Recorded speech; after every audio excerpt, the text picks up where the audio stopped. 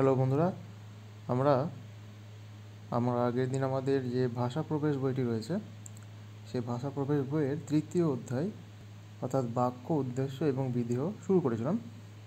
সেখানে বাক্য পড়তে গিয়ে আমরা দেখেছি যে, বাক্য কাকে বলে? কতকগুলি শব্দ, যখন পরপর সাজিয়ে মনের অর্থ প্রকাশ করে বা মনের ভাব প্রকাশ করে, সম্পূর্ণভাবে প্রকাশ করতে হবে। তাকেই বলা হবে বাক্য। তাহলে যেমন তেমন শব্দ বসালে কিন্তু বাক্য হয় না। ঠিকঠাক শব্দ পাশাপাশি বসিয়ে অর্থপূর্ণ মনের ভাব প্রকাশ করতে হবে। ঠিক আছে? এবার আমরা বাক্যের অংশ পড়তে গিয়ে কি কি পেয়েছিলাম? যে বাক্যের দুটি অংশ। কি কি? উদ্দেশ্য এবং বিধেয়। উদ্দেশ্য মানে আমরা যাকে সাবজেক্ট বা কর্তা বলি। ইংরেজিতে আমরা সাবজেক্ট পড়েছি বা কর্তা পড়েছি, অর্থাৎ যার সম্পর্কে কিছু বলা হয় বা যে কাজটি করে, সেই হচ্ছে উদ্দেশ্য বা সাবজেক্ট বা কর্তা। আর সাবজেক্ট বা উদ্দেশ্য সম্পর্কে যা বলা হয়, সেটাই হচ্ছে বিধেয় উদাহরণ হিসেবে কী দেখেছিলাম? সেখানে দেখেছিলাম, রাম খেলা করে। রাম খেলা করার মধ্যে কার সম্পর্কে বলা হচ্ছে? রাম সম্পর্কে বলা হচ্ছে। তাহলে রাম হলো উদ্দেশ্য। আর বাকি যে অংশটা আছে, দেখো, খেলা করে, এই পুরোটাই হচ্ছে বিধেয়। কারণ রাম সম্পর্কে বলা হচ্ছে রাম খেলা করে। এবার বিধেয়ের মধ্যে আবার অনেক অংশ থাকে। এখানে দেখো, খেলা আছে, একটি শব্দ, করে আছে, একটি শব্দ। তাহলে বিধেয়ের মধ্যে আবার ক্রিয়া, কর্ম এবং অন্যান্য পদ ঢুকে থাকে। তাহলে বাক্যের অংশগুলিকে আমরা দুভাগে ভাগ করলাম, উদ্দেশ্য এবং বিধেয়। এবার আমাদের আজকের যে বিষয়, খুব গুরুত্বপূর্ণ, সেটা দেখব। সেটা হলো বাক্য কত প্রকার?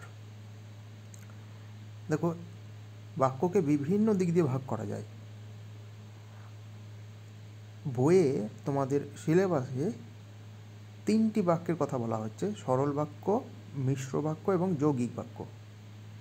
এই তিনটি বাক্য কিসের উপর নির্ভর করে ভাগ করা হয়েছে? এই তিনটি বাক্য ভাগ করা হয়েছে বাক্যের গঠনের উপর।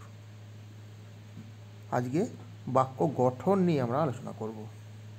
তাহলে আমরা বাক্যের উদ্দেশ্য এবং বিধেয় সম্পর্কে জেনে গেছি। সেই উদ্দেশ্য এবং বিধেয় কতকগুলি আছে এবং কীভাবে আছে তার উপরে নির্ভর করছে বাক্য কী ধরনের? অর্থাৎ সরল বাক্য, মিশ্র বাক্য না? যৌগিক বাক্য। এই মিশ্র বাক্যকে অনেক সময় আবার জটিল বাক্যও বলা হয়। তাহলে প্রথমে আমরা শুরু করব সরল বাক্য কাকে বলে? সরল বাক্য ইংরেজিতে তোমরা পড়ে থাকবে সিম্পল সেন্টেন্স বলা হয়। সরল সরল ইংরেজি কি? সিম্পল মানে একদম খুব সাধারণ। কিন্তু নামটাই সরল। মোটেও কিন্তু সরল নয়। কেন সরল নয় দেখি? দেখো এখানে বলা আছে যে যে বাক্যে একটি উদ্দেশ্য এবং একটি বিধেয় থাকবে, তাকেই সরল বাক্য বলে।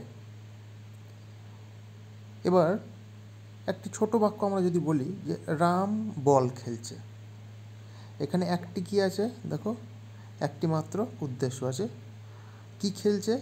বল খেলছে। তাহলে বল খেলছে, পুরোটাই হচ্ছে বিধেয়। তাহলে একটি উদ্দেশ্য পেলাম, একটি বিধেয় পেলাম। তাহলে এই ধরনের বাক্যকে বলা হচ্ছে সরল বাক্য। তাহলে সরল বাক্যকে ভাঙলে আমরা কী পাবো? একটি উদ্দেশ্য এবং একটি বিধেয়। তাহলে পুরো বাক্যটা হয়ে গেল। কিন্তু অনেক সময় দেখবে বাক্যে একটি উদ্দেশ্য আছে, কিন্তু তার সম্পর্কে অনেক কিছু বলা আছে এবং সেগুলো যুক্ত করা আছে বিভিন্ন ধরনের পদ দিয়ে।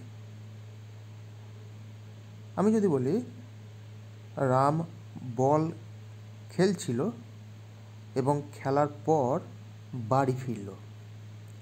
তাহলে দেখো, একটি বাক্য পুরো বললাম, কিন্তু বাক্যটিকে আমরা ভাগ করছি কীভাবে? এবং দিয়ে। রাম বল খেলছিল, তাহলে উদ্দেশ্য কী হলো? রাম। বল খেলছিল, বল খেলা হয়ে গেল। এবং বল খেলার পর বাড়ি ফিরল। তাহলে বল খেলা হয়ে গেল, তারপরে সে বাড়ি ফিরল। তাহলে এটাও কিন্তু একটা বিধেয়। কী দিয়ে যুক্ত করা আছে? যুক্ত করা আছে এবং দিয়ে। এবং বা ইংরেজিতে যাকে বলা হয় অ্যান্ড এটি আসলে একটি কনজাংশন কনজাংশনের কাজ হলো দুই বা তার বেশি শব্দ বা বাক্যকে যুক্ত করা। এই দুই বা তার বেশি শব্দ বা বাক্য বা বিধেয়কে যখন যুক্ত করা হয়, তখন তাকে বলা হয় যৌগিক বাক্য। তাহলে যৌগিক বাক্যের আমরা সংজ্ঞাটা পেয়ে যাব। দেখো এখানে কি পাচ্ছি? যদি দুটি স্বাধীন বাক্যকে যুক্ত করে একটি বাক্য গঠন করা হয়। যেমন ধরো, একটি উদাহরণ দিই। সে বাড়ি গেল। এবং ভাত খেলো। দেখো, দুটো অংশ পাচ্ছি। একটিতে আছে সে বাড়ি গেল, আর একটিতে হলো সে ভাত খেলো। তাহলে সে কিন্তু দুটো কাজ করেছে। প্রথম কাজটি হচ্ছে বাড়ি গেল, আর দ্বিতীয় কাজটি হচ্ছে সে ভাত খেলো। দুটোর উদ্দেশ্য কিন্তু একজনই এখানে। কিন্তু বিধেয় দেখো আলাদা আলাদা। কিন্তু আমি যদি আলাদা আলাদা করি, সে বাড়ি গেল এবং সে ভাত খেলো, দুটোই কিন্তু স্বাধীন বাক্য। কী দিয়ে যুক্ত করা আছে? এবং দিয়ে। তাহলে দুটো স্বাধীন বাক্যকে আমরা এবং দিয়ে যুক্ত করেছি। তাই যৌগিক বাক্যে আমরা দুটো বা তিনটে বা তার বেশি বাক্যকে স্বাধীন বাক্য হিসেবে যুক্ত করতে পারি। বাকি থাকল কি? বাকি থাকল মিশ্র বাক্য। মিশ্র বাক্য কিন্তু সরল বাক্যের মতো বা যৌগিক বাক্যের মতো পুরোটাই স্বাধীন বাক্য হয় না। একটি অংশ আর একটি অংশের ওপর নির্ভর করে। যদি আমি বলি, ধরো, যদি বৃষ্টি পড়ে, তবে স্কুল যাব না।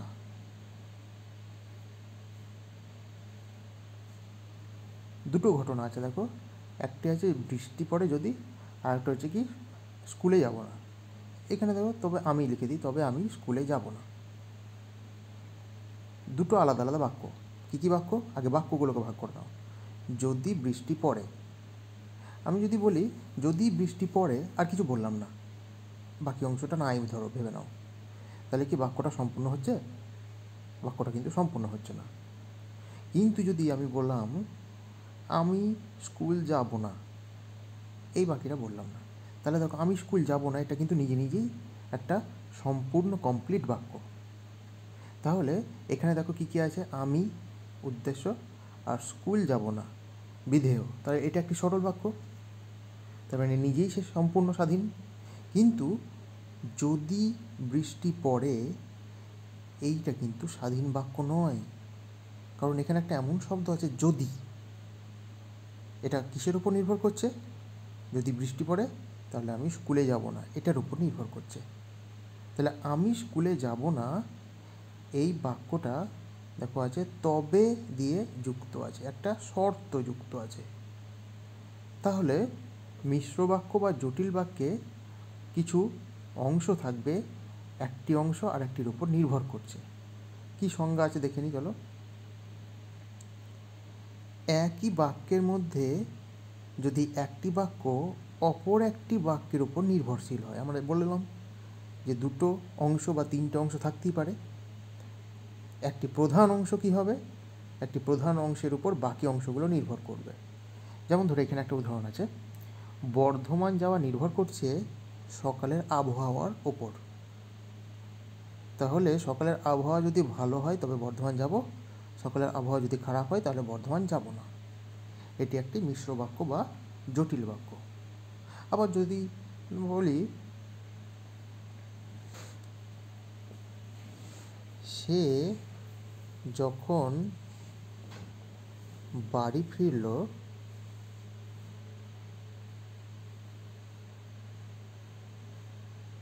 মা তাকে খেতে দিল।